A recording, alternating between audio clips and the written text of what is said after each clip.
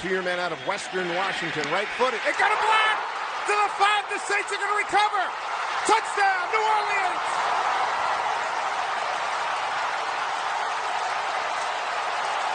Steve Gleason got the block.